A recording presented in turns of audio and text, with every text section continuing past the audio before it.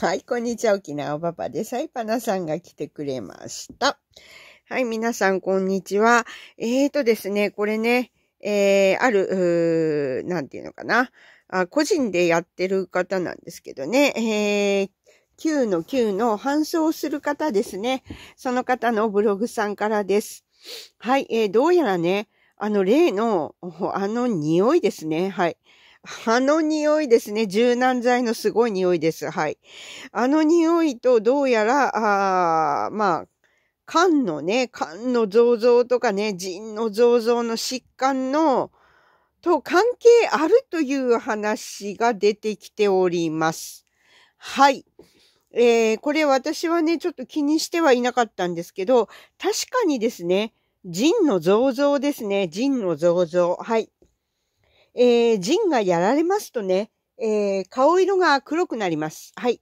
えー、これ簡単で、えー、簡単な理由なんですよ。いわゆるね、えー、きちんとね、えー、いわゆるお小水ですね。お小水になって排泄されないんでね。はい。えー、まあ、いわゆる残ったまんまになるんですよ。そういった排泄するべきものがね。えー、なので、えー、くすんできます。はい。肌色が。腎臓が悪くなるとね、えー、くすみます。はい。これは日に焼けた、あのー、なんていうのかな。日に焼けて黒くなるとはまた別です。はい。えー、日に焼けて黒くなるっていうのは大体ね、褐色系になるんですよ。はい。褐色です。はい。褐色のお肌でございます。でも、くすむっていうのはまた違うんですよ。灰色なんですね。グレーがかってるんですよ。はい。えー、まあ、これはお顔の色からも伺えるということですね。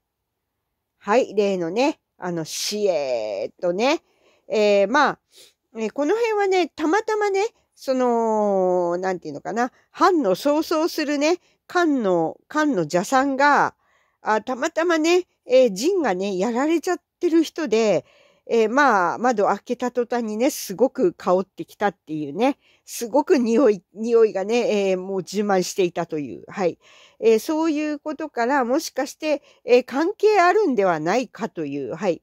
えこの方の個人的な、まあ、経験なんですけど、えー、確かにね、もしかしたらそれもあるのかなと思います。どうしてかっていうと、えー、腎がやられるとね、えー、いろんなものが肺の切節できなくなりますから、体に、あのー、残るんですよね。なので、えー、なんていうのかな、代わりに、えー、汗とかでね、えー、こう、肺の切節しようと頑張っちゃった結果ね、えー、匂いがひどくなったりするのかなって、えー、思ったりいたします。はい。とりあえずね、えー、腎のね、えー、悪い方ってね、口臭でわかるんですね、口臭で。はい。えー、アンモニア系の匂いがします。はい。えー、口臭が。なので、この方、あの、腎が悪いんだなってわかるんですよ。はい。えー、まあ、これは、あのね、えー、まあ、腎が悪い方のご家族の方とかはすぐわかると思います。はい。えー、実は亡くなった父が腎を悪くして亡くなったんで、えー、こういったあ講習がたまにしておりました。はい。まあ、そういうことですね。えー、まあ、顔色は本当にくすみます。はい。腎が悪くなるとくすみます。やっぱり、あ老廃物がね、出ていかないんで、大量にね。はい。えー、なのでね、えー、お肌がくすみがちになります。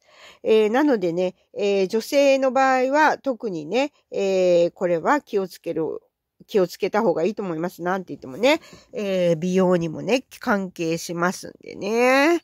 はい。まあそういうことでございますね。はい。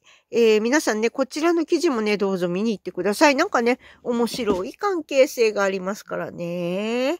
はーい。それではね、皆さんまたごきげんよう。沖縄パパでした。はい。ちょっとね、向こうに行こうとするのを止めてしまいました。はい。ねえ、パネちゃん。はい、パネちゃん。こっちこっちこっち。こっち見てください。はーい。それでは、またごきげんよう。沖縄パパでした。はーい。